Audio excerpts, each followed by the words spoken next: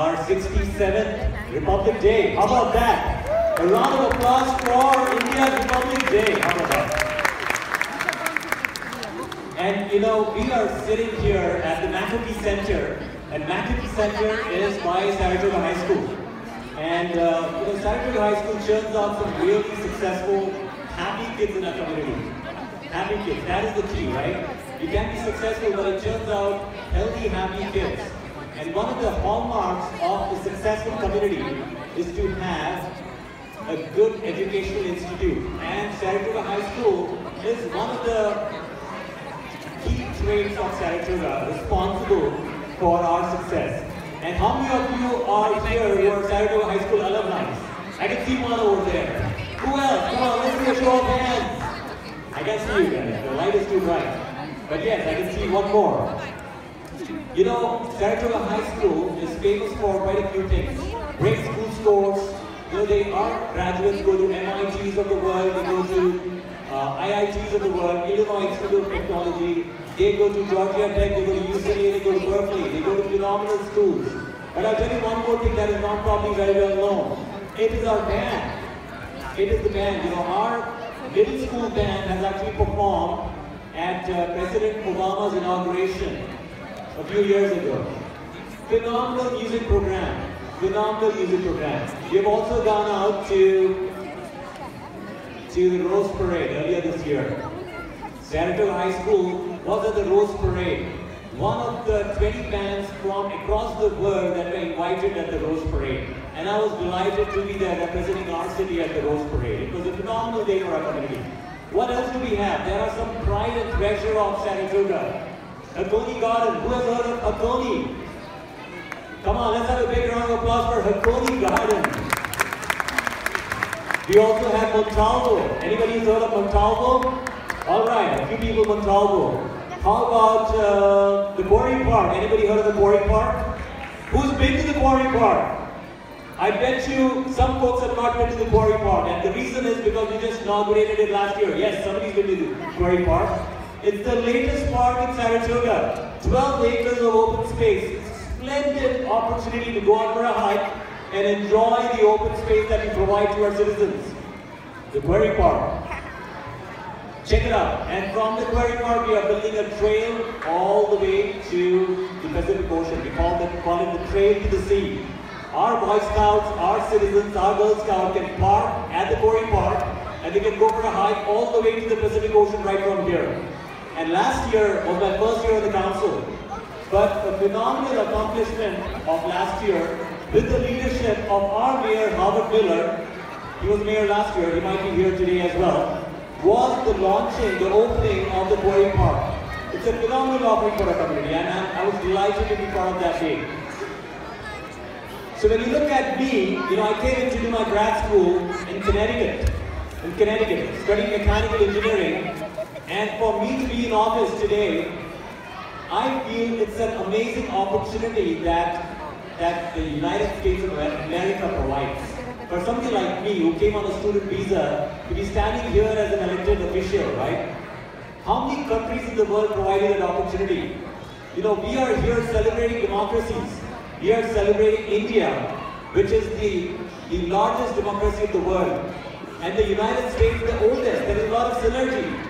Because you look at the innovation happening in Silicon Valley, you look at the entrepreneurship spirit of Indian Americans who have lived back in India, who have put in their energies to make India prosper, who come out here and now are working towards the success of Silicon Valley. How about the entrepreneurship of Indian Americans in Silicon Valley? Let's give a big round of applause for that. So, you know, there is a lot that we try to do in this country, right? We are, some of us are doctors, engineers, high-tech geeks, musicians, you know, you name it, right? We are doing a variety of different tasks. But I've noticed that there is an opportunity for us to make a difference, for us to make a difference. And that's what I've tried to do with my city council role. I call it very simply providing services that are cheaper, faster, better to our community. Simply stated. And what does that mean? So when I got on the council, you know, I work, I'm a high-tech geek. Don't I look like one? Yes, I do. You know, as a high-tech geek, what I did was I sat down with my city manager and I said, Tell me, what are the top 10, top 10 things that our citizens are using today? What are the top 10 services that they're using today?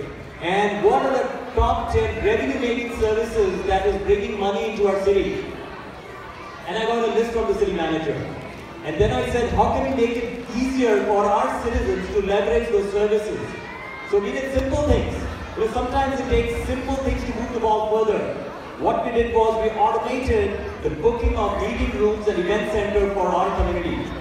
We are running surveys to get feedback from our community. Applying the high-tech algorithm into city government can certainly make it easier, faster, better for our citizens to leverage services.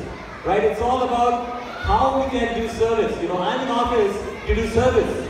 And that's topmost of my mind. You know, when I get up in the morning, you know, I get out and go to work. But when I'm done with my work, I'm thinking about how exactly I can work for my community to address their pain points. For example, give you a quick example here.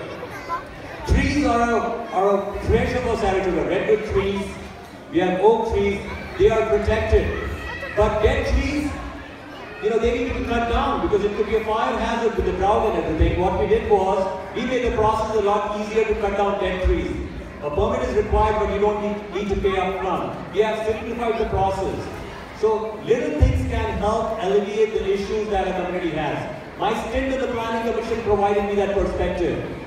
So when I look at what's going on with the Indian American community, we all have a fabulous time socializing, we have we work really hard. We, we lend our energies to doing what we need to do in our in our in our businesses, in our in our offices. But what about getting involved in the community, right? How can we get involved in the community? Are we really involved in the community? What else can we do? I see there's a little bit of a gap there. There is definitely a little bit of a gap there. And my key takeaway for today is two things. Is two things. What we do, in fact, uh, I was talking to folks outside, we do a great job of showing up to events, taking pictures with politicians, writing checkbooks to politicians, but what we don't do very well is knocking on doors, getting involved in the campaign. If there are issues that are bothering us, let's get involved in the campaign. You know, last year or a couple years back, we had SCA 5. Has anybody heard of SCA 5? State Constitutional Amendment 5. You know, what it was doing was, it was bringing affirmative action back to California. Do we have affirmative action back in India? We have had it for decades. It's causing a lot of problems. Do we want to have the same problem repeated over here? Not quite. So, it's an opportunity for us to engage and highlight our concerns to elected officials. You know, simple things like that can make a difference. And what happened was, our Asian community participated in that engagement process. They were reaching out to elected officials and telling them that that change, SCA 5 is harmful for the country, for California, and we need to make sure that that change is not implemented. And that's, and that's really what happened. So when we express our voices, our voices are definitely heard and they will be addressed. That is the key component of learning for me, how I got involved in the city, with my planning commission, with getting involved with the Traffic and Safety Commission very early on in Saratoga to, to finish a road paving project outside my home. Working with my community to launch a neighborhood safety watch. You know, it is very easy. It's an opportunity for us to get involved. And here is the second opportunity. To vote, simply stated, to vote, right? Getting registered to vote you know, many of us are still on a permanent residency. What does it take for us to become American citizens? Let's think about that. What is preventing us from becoming American citizens? Secondly, taking the opportunity to get registered to vote. Many, many in Fremont, I've noticed, a population of 263,000, we only have about 32,000 Indian American voters in Fremont. You look at Saratoga, Saratoga has an Indian American population of 4,000 and we have only 145 high propensity voters. Is that good? 145 high propensity voters who have voted three out of five elections out of a population of 3,000. That needs to change. That needs to change and we need to take the first step today. I am highly energized by looking at candidates like, we saw Ash Kalra. Ash Kalra is running for assembly. Ro Khanna is not here, he's running for Congress. You know, we have more and more Indian Americans who are running for office, who have a great opportunity to get elected to office. But it can only happen with our support. So two things. Let's get involved in our community. Let's get registered to, let's register to vote and let's exercise our vote, exercise our voice. That is the most important thing. Thank you all. I'm delighted to be here.